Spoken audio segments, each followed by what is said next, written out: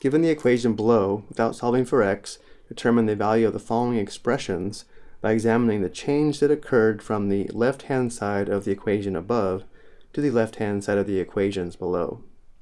So we are given the equation 2x plus 6 equals 1, and for the first example, we're asked to determine the value of the expression 2x plus 3. So beginning with the equation 2x plus 6 equals 1, we need the left side of the equation to be 2x plus 3. And because 6 minus 3 is equal to 3, if we subtract 3 from the left side of the equation, notice how we do get the expression 2x plus 3. And if we subtract 3 from the left, we must also subtract 3 from the right to maintain equality. And now if we simplify, we have 2x plus 3 equals 1 minus 3, which is equal to negative 2.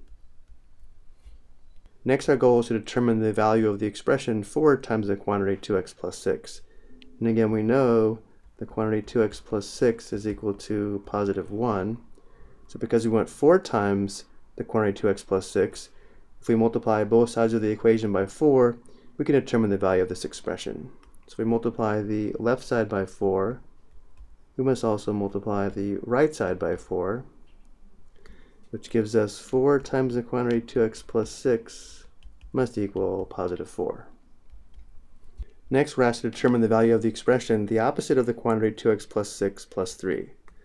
So again, beginning with 2x plus 6 equals 1, let's first find the value of the expression, the opposite of the quantity 2x plus 6, by taking the opposite of both sides of this equation, which is equivalent to multiplying by negative 1.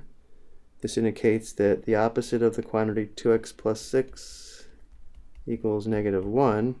And our goal is to find the value of the expression that is 3 more than this, which is this expression, which means now we add 3 to both sides of the equation. So we have the opposite of the quantity 2x plus 6 plus 3 must equal negative 1 plus 3. Again, we add 3 to both sides of the equation to maintain equality. So we now know the opposite of the quantity 2x plus 6 plus 3 is equal to negative 1 plus 3, which is positive 2.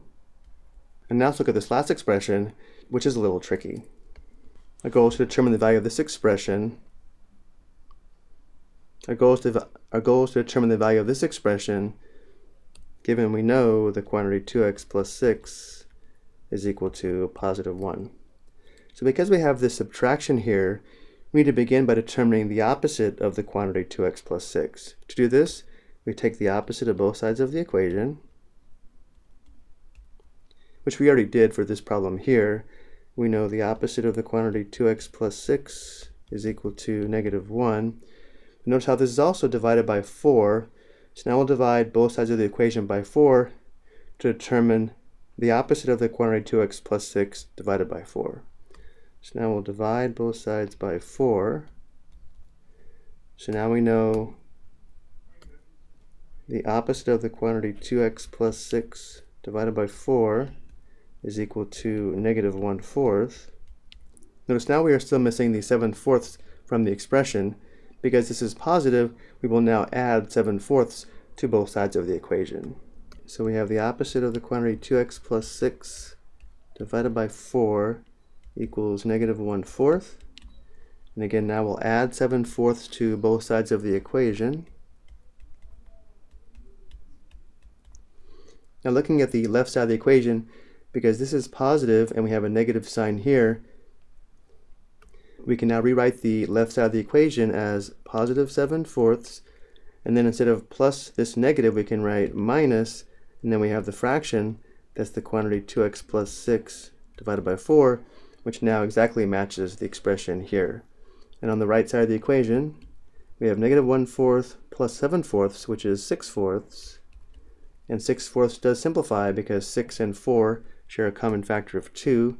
If we divide 6 by 2 and divide 4 by 2, we can see this simplifies to 3 halves. So now we know that 7 fourths minus the quantity 2x plus 6 divided by 4 equals positive 3 halves.